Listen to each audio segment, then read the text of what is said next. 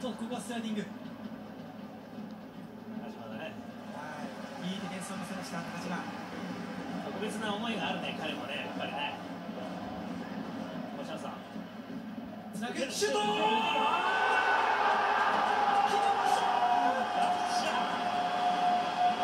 伊藤10番に近づく。先制点。いやー今来ると思いましたね。後半19分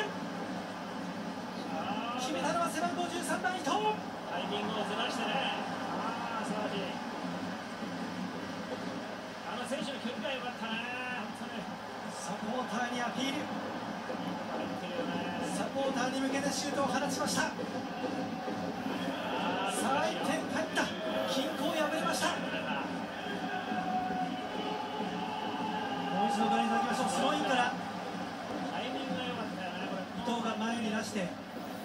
と落としてそのままね。ワンタッチでのシュート。しかもあのちょっとカーブかけてグラウンダーで。